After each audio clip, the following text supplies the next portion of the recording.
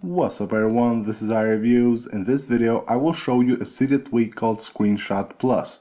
What this tweak does is that it allows you to easily share your screenshots to your Facebook, Twitter, or you can also send them using your email or iMessage. The first thing you have to do after you install this tweak is go to your settings, go to Screenshot Plus, and here you have activation methods.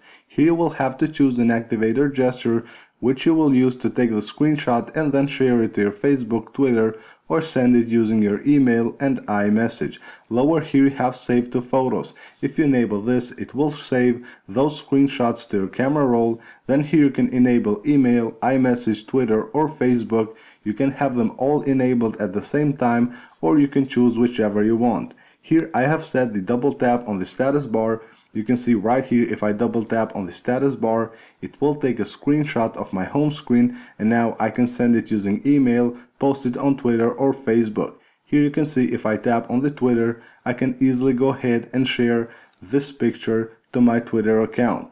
This tweak will cost you 149. You can download it from the Big Boss repo. I hope you guys enjoyed and don't forget to subscribe to our channel.